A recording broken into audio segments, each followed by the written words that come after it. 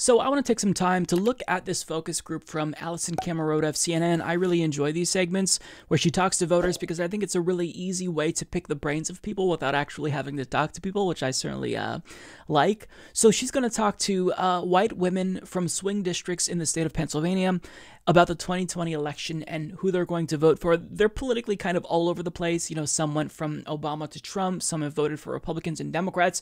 So I think it's really interesting to see what they have to say because I want to know their thoughts so we can respond accordingly and give ourselves, you know, the tools that we need, the arguments that we can use to persuade people like this if they are in fact persuadable. Now, I'm thinking that this is probably going to be um, a train wreck. So we'll see. I'm not uh, I haven't seen this, so I'm watching this for the first time. My reaction is genuine, but um, nonetheless, let's uh, let's go ahead and hear what they have to say. On Wednesday, we introduced you to a group of six voters from two key swing districts in Pennsylvania. These voters are an important demographic white women without college degrees. All say they vote for the person, not the party. Three of them voted for Barack Obama and then Donald Trump. So we wanted to know which candidates and issues interest them this time and how many plan to vote for President Trump. Here now is part two of our Pulse of the People. So, show of hands, how many of you have at times voted for Republicans and at times Democrats? All of you. How many? Okay, I've got to stop it right there because I already have something I want to say. So this is something that even though it's odd, it's not like unfamiliar. Like we all know someone in our family or social circle who kind of goes back and forth Republican, Democrat, Republican, Democrat. And usually the thing that I find with these types of people is they're always looking for change. Like they want someone who's offering them solutions to problems. And when the left winger doesn't offer them solutions, then they opt for the right winger. And I use the term left winger loosely because Bill Clinton and Obama, these were not left wingers, they're centrists. But, you know, I digress. Uh, they want change, but they're not getting it. And so this is why I really want people to learn about political ideology and political philosophy so that way they have some set of underlying core values that they use to evaluate the candidates. So that way they know, okay, a left winger is saying that we need to uh, deregulate and um, cut taxes for the wealthy. And they need to be able to pick up on the cues that, okay, this is what is going to happen if we opt for that solution. But you see, people, they, they just, they don't have time, right? They're working too much um, they're overworked, underpaid, and they don't have time to pick up on these types of things. They don't have time to educate themselves. So, this is where you and I come in, where we have to educate them and let them know who is and isn't the real deal. But I mean, this is not uncommon, even though it's weird. Like, I couldn't imagine going back and forth. I know people who have done this. Like, my dad is a perfect example. He voted for, I believe, Bill Clinton, um, hated Bill Clinton, then he voted for George W. Bush, hated Bush, then he voted for Obama, and, you know, was incredibly enthusiastic did not like Obama one bit, so he opted for Bernie in 2016. But the thing about that is Bernie lost, and I don't know if he even participated in the general election in 2016. Um, I, I tried to convince him to still vote regardless because of all the you know ballot initiatives and whatnot. If he did vote, I, I think he probably voted for Jill Stein. But either way, like I know these types of people, and the reason why nobody's been able to produce a solution, no politician has been able to produce a solution that works, is because the system itself is able to easily co opt people in one way or another. So we keep getting the same result, even though there's different politicians and there's still continuity, because, I mean, we're not actually getting anyone who's doing the change they say they want. Of you voted for President Obama and then voted for President Trump. Okay, so Marianne, explain how you were able to vote for both. I voted for Trump because he was not a politician. You, you get tired of the same old, same old from um, Washington, that, and I really wanted someone that would make big changes. President Trump, he said he was going to take care of us and he was going to make sure we had more money in our paychecks Did and, he, though? and help us out because Did he? you go to work, you work hard, and you have nothing. And then there's people that don't even work that have more than I do. Has your life Okay. economically, fin- I want to stop that right there because what she's essentially alluding to is this re- residual notion that, you know, dated back to the Reagan era that there are these welfare queens that they don't work but they live off of welfare and they have these lavish lives, you know, their their fridges are stocked. Meanwhile, you're working 9 to 5 and you're struggling. You're overpaid and um, you know, over you're under you're overworked and underpaid. I just used that same phrase and I fucked it up already. But regardless, you know, you're you're overworked and underpaid and you feel like, "Oh, these people who aren't working, they have it all." But what people like this don't realize is that that's not true. That's factually incorrect. People are struggling. The reason why you are working so hard and you really don't see the fruits of your labor is because capitalists decided that they could make more money if they deny you the value produced by your labor. This is capitalism's doing. This is the result of capitalism. They wanted to maximize profits and, you know, pay their CEOs more. So as a result, that means that you're going to get less.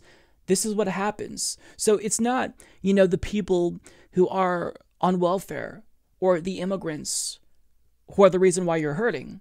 It's capitalism. And this is why I really think education is so important because people don't know that the system is designed to make people feel like they are desperate, right? Because that's what's happening. We have income and wealth inequality that is absolutely insane. We just got over the 2008 Great Recession. And even though the economy and the stock market has recovered, normal people aren't really seeing the benefits of that gain. So people, they just, they need someone to blame. And rather than blaming the system, they blame their peers because this is what they were told. And um, I just I don't know how we move beyond that. How do we get past this welfare queen notion, which is completely bogus? People on welfare are absolutely struggling and desperate. I was on welfare at one point, and I can tell you, I didn't want to stay on welfare because I didn't want to be extremely fucking poor, right? And living off of food banks. Like whatever I got from uh, food stamps, my family when we were younger, whatever we got from food stamps, it wasn't enough. So we had to go to food banks. So, I mean, it's not like they're living these lavish lives. Like people want to work, most people, because they want to make money. They want to be able to survive and sustain, you know, an income that will actually allow them to buy a house, buy a car. But that's not the economy that we live in anymore. That's that's not the reality. Things have changed because the system is rigged because that's exactly what we can expect from capitalism. But I'm going to go off on a, an um, anti-capitalist tangent, so let's go ahead and just get back to the video and I'll shut the fuck up. Actually improved under President Trump. I have um, I have a lot more in my paycheck. I, I do have more in my paycheck as well. My um, stock portfolio is doing great. that too. See, yeah. maybe that's why I look at the economy different. Um, I'm not where a lot of you are financially. I don't think uh, I'm pretty darn low income. Uh, my family has received food stamps personally. Um, what do you do for a living? Uh, I till recently I worked at a grocery store. Um, and now I am running a cafe. Do you think that the economy is doing great? No. I think the economy for the upper middle class has gotten better, and that's great for them. But the economy hasn't gotten better for me. Crystal, you voted in 1992 exactly. for Bill Clinton. You didn't vote again in, in an election until 2016. Is that right? Donald Trump was running. And I said, finally, another businessman, and I got fired up. Has he lived up to your expectations? Absolutely. I think he can, he's really? doing just fine. If he says, this is what I'm going to do at this timeline, he does it. Well, he hasn't built the wall. That was one of his I was just going to say that. So, I mean, do you hold that promise against him? No, because isn't the whole wall part of getting the money from Congress too? And isn't Congress stopping him from getting the money? He said Mexico was going to pay for it. Okay, I feel like this is someone who is probably too far gone. Like, it's very easy to become susceptible to whatever bullshit you hear on Fox News if that's kind of the bubble that you insert yourself in, right? So I'm sure she drank the Kool Aid and now she's too far gone. She went from Bill Clinton to Donald Trump. That's quite the shift. But I mean, to be satisfied with Donald Trump, you can't be satisfied with Trump if you know the whole picture. Like if you know that he is bombing children in other countries. Our bombs are being sold to Saudi Arabia and they're using it on babies. How can you still support him knowing that? Like when I found out that Obama had increased the drone war that was initiated by George Bush, he lost my support essentially. And I was late to the party, right? I had cognitive dissonance and I didn't want to realize it. And maybe she's experiencing this. But I mean, if you know everything, you can't unknow that, right? You can't take back that knowledge. You can't put the cat back in its bag. So she doesn't have the full picture if you still support Donald Trump. He cut his own taxes. That's his one major legis- legislative achievement. He cut his own taxes. How can you be satisfied with that? I just, I don't get it. climate change still doesn't even acknowledge that it's a real thing. Um, what little progress we've made under Obama, he's undoing that. And even though the Paris Climate Accord wasn't that substantial, it was something. So I feel like she's probably too far gone, but other people here, probably not as much. I don't know. It just depends. I have to see what they say. Where's the money going to come from? Is he just supposed to print it right there at the White House? Um, well, he did take some Mexico. from the defense I think budget. it's coming from Mexico. Yeah. Was the campaign promise? I believe that's literally a quote. How many of you, if the election were held today, show of hands, would vote for President Trump? Oh, that's Okay, good. Just one, one. of you would. Lisa Just Marie, are you on the fence? I liked him in the beginning when he first came out. He was saying things like it is, um, probably saying things like most of us think but don't want to say. But I'm also thinking he's gotten out of control. That's just him. Okay. I'm, the- I I'm mean, gonna stop right here because, like, even though I think it was pretty obvious that Donald Trump was a con man, he was a fake populist. Like, I'm willing to give these people a pass, even though I think it's really morally reprehensible that they still voted for him in spite of the racism, in spite of the xenophobia, in spite of the warmongering mixed in with some anti-interventionist, isolationist things. But I mean, I'll give you a pass, but you don't get a pass if you- you know now exactly what he's doing and you vote for him again. So this person is the only person on this panel that really seems too far gone. Um, these are people who, to me, seems like they want change, and I really hope that Alisyn asks a question about um, Bernie Sanders because if I had to guess, it seems like they would be open to voting for Bernie because these seem like people who are just they want a change candidate. They want someone who's anti-establishment. uh, watch him from the 80s on. He's just, I mean, he used to go on the Oprah show and stuff. He's just always been so candid about, I can do that movie star, or I can do this. He's just, Why is that He's a bench- reality he's star. just Donald Boom. Trump. You like that he's. I like that he's unapologetic. So, in terms of any personal indiscretions, in terms of paying hush money to a porn star, all that stuff, uh, show of hands, how many people are bothered by that? What bothers you? How are you not bothered was by the corruption? asked, did you like, again, just like Bill Clinton, pretty much, did you have sex with this woman? Did you bribe, like, pay her off? And he said no. And it came out he did. And people are like, ah, you know what? It's not a big deal. But he did lie to us. There's no remorse. There's no regret. There's no humility. I don't vote for personalities. I vote for who's going to get the job done. And why are you on the fence today? Okay. I'm yes, don't vote for personalities, but corruption isn't something that is uh, related to personality. Like she was asked, or they were asked about the hush money payments, corruption.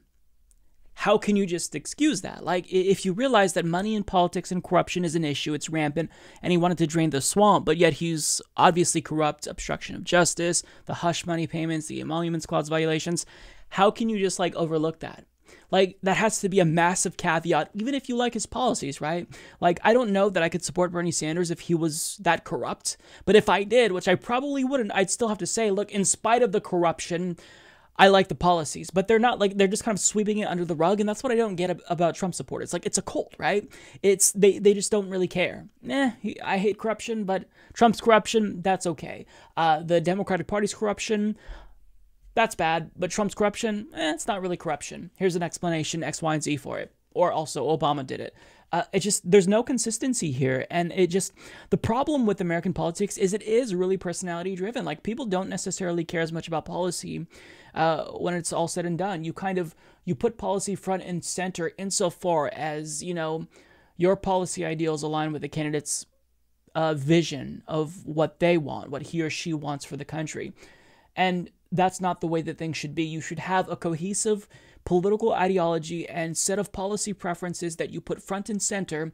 And if a candidate deviates from that, then you stop supporting that candidate. That's the way that it should be.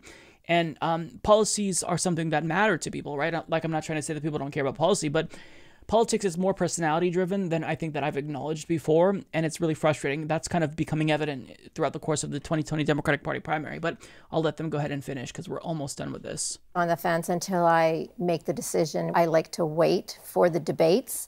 I want to see who is out there. But I mean, there's so many candidates right now. I can't even pretend to know everything about all of them or even most of the things about all of them. Is there any Democrat that speaks to you or that appeals Pete to you? Pete Buttigieg. Oh, kill I, like me. Mayor Pete- I mean, that guy, he's a Harvard graduate. He was in the military. Mm-hmm. He's smart. He's just articulate. He has great ideas. How do you go from Trump to Pete to me. Buttigieg? Show of hands, how many people like Pete Buttigieg?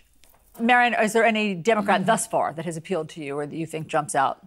Biden right now Ah, seems to jump I out, can't. But you know it can change because I think you know they keep saying they're going to bring on someone that they haven't announced yet. I'm Who's just, they? the Democratic Party. I didn't hear that. So um, I'm just waiting, but it's gotten to the point where you don't know who to believe anymore. I'm going to be totally honest. Once again, I, I listen to media, I listen to people here there in restaurants, and, and kind of forming my opinions um, from other people's opinions. No, And don't I do just that. started Don't do that. researching and looking and, and looking at different articles and uh, going to Hillary Clinton. I always thought Benghazi, Hillary, that was her deal, the emails and everything. But on. once you read enough articles and, and you She's look at a lot a of good things, point. she really didn't do anything wrong. You know, um, interestingly enough, I, I was actually shocked by that. You know, Hillary 'cause I, sucks. this is what I Oh my heard, God, and this is what I people are killing thought. we are in this polarized world right now where everybody only goes to their own news source that they think that that speaks to them. And I do think a lot of Americans just don't have the time or the energy Or the- or have the right Interest. information or interest. It's, mm-hmm. it's I it could be a full time think there's a job for some people. I think that's really a, a great point. Okay, so let's lightning round. One word. We'll go around to describe how you see the 2020 race. Do you want to start, Allison? Sure. Polarizing. Confusing. Too much information out there. You're saying. Yes. intriguing. Trump. God, shut up. She's so I would annoying. have to just say um, change. I don't know if I can say it in one word. Um, I really just think it's going to be um, enlightening. That was um that was bad. Yeah, I wasn't really expecting much. Seemed like these were change people, and then they go for Buttigieg or Biden. Okay. people don't know what they want. I don't know what people want. Everything is stupid, and we are living in hell. Like, I get it. People don't have time. People, um, they don't necessarily have the time to go through and research all these candidates and learn about their histories. But Bernie Sanders now, he's been in Congress for 350 years. He has the same, he's been saying the same things. He has a consistent record. I mean, if you're an anti establishment, pro change candidate, how do you just not like automatically opt for someone like that? Right? I don't know. This was soul crushing. Um, I kind of wish that I didn't watch this because it put me in a bad mood. But regardless, um, yeah, there you have it. Um, white women from swing districts in uh, Pennsylvania. They're either rah rah Donald Trump or they love Pete Buttigieg um, or Biden. So, um, in other words, we are all totally fucked because, yeah, these people will. Uh, they may not necessarily decide the primary, but they're going to be really important in the general. And yes, this is just an anecdote, right? This is six people. But still, I think that these are important because it gives gives us a little bit of insight into the minds of people. And um, yeah, that person has drunk the Trump Kool Aid, so she's too far gone. And a lot of them like Pete Buttigieg. I mean, who he appeals to, it just it makes no sense to me. This is someone who is elitist. Like you, you, you support Donald Trump. I think that person who was, you know, talking about all the things about Pete Buttigieg that, that she liked. I think that she was a Trump voter. No, am I, am I not remembering uh, that correctly? Let me go back. Two of our pulse of the people. And I for Trump because he All of you. For Republicans and at times Democrats. All of you. How many of you voted for President Obama and then voted for President Trump? Okay, so, So she did vote for Trump. you So you went from Donald Trump to Pete Buttigieg. They are polar opposites. One had this anti-establishment pseudo-populist appeal because he wasn't an elitist, right? He spoke with, you know, a third grade level vocabulary, and now you're going to Pete Buttigieg, who sniffs the smell of his own farts out of a wine glass, who speaks 32 languages. I just, I don't get it. Like, this doesn't make any sense to me. But, um, Whatever. Mike is the worst progressive on YouTube. Please don't subscribe to him or become a patron. David Doel is so much better. Trust me, folks, he's doing a great job. He really is, okay?